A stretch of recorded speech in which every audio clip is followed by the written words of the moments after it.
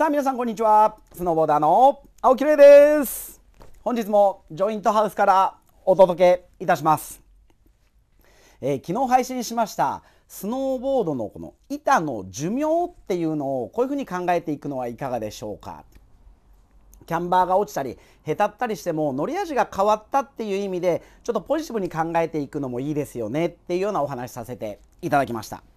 で実際にあのカービング系の板だったら100日ぐらい経っても僕はちょっとへたりを感じないしフリースタイルっぽい感じで使う板だと50日ぐらいでもしかしたらそのへたりを感じるかもしれないですねというような具体的な日数なんかもちょっと出しながらお話しましたけれども本日はバインディングの寿命っていうのをちょっとまた考えてみたいと思います。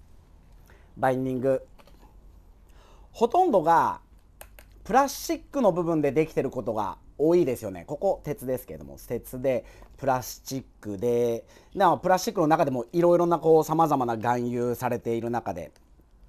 カーボンが少し入ってるものもあったりとかいろいろあるかなと思います。でベースプレートハイバックベルトっていうふうに大きく分けられるなって思うんですけどもバインディングの寿命っていうのが僕はこのベースプレートが割れたらもう使えないねっていうふうにちょっと考えてます。というのがベルトにしてもこのラチェットにしても、まあ、モデルとかメーカーによってはこのハイバックまでもこの壊れたから取り替える部品だけ取り寄せてもらって取り替えるっていうようなのに結構対応しているブランドが多かったりするんですね。このベルトなんていうのはもう絶対対応してくれてる感じです。そうすると破損したら取り替えて破損したら取り替えてっていう感じでどんどんどんどんあの使えなくなった部分をリニューアルしていくっていう感じで使い続けることができるのでじゃあ一番大元となる大元となるこのベースプレートハイバックがもしかしたらちょっと手に入れづらいかもしれないのでじゃあハイバックが折れるとかそういった根本的な部分がダメになったらまあじゃあそのバインディングの本当の意味での寿命だねというふうに考えていいと思うんです。で僕今まで使ってたバインディングでそれこそベースプレートが割れるとかベースプレートに影響を出してしまったバインディングってないんですね。なんで正直僕ユニオン使い始めて昔からのバインディングずっと置いてあるんですけども前のバインディング5年ぐらいバインディ前のバインディングこの乗り心地好きなんだよなっていうのを年に2回ぐらいは使うっていうモデルもあったりするんです。そういった感じでベルトとラチェット等々は変えることができるので是非ともこのバインディングもこういうダメになった部分を、えー、チェンジしながら長く使っていっていくのがいいんじゃないかなと思うんですね。そうすると昨日お話した板と同様にバインディングも複数持てるようになるのでじゃあこの板にはこのバインこの板にはこのバインっていうふうに駐車場で付け替えるっていうことをしなくてもまあ、うん面白い乗り味のスノーボードの板とバイのセットが何個か出来上がるというような考え方もできるんじゃないかなというふうに思っております。バインディングの寿命何日何年っていうのがいいですかね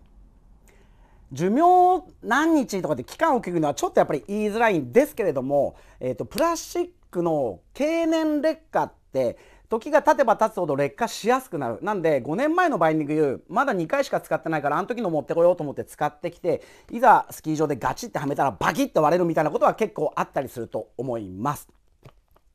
あとはえーと、すごい寒いところだとプラスチックのもの自体の物質のもの自体の柔軟性がなくなってガチって固まるので普段通りやってたのにパキンっていきなり折れてしまったとか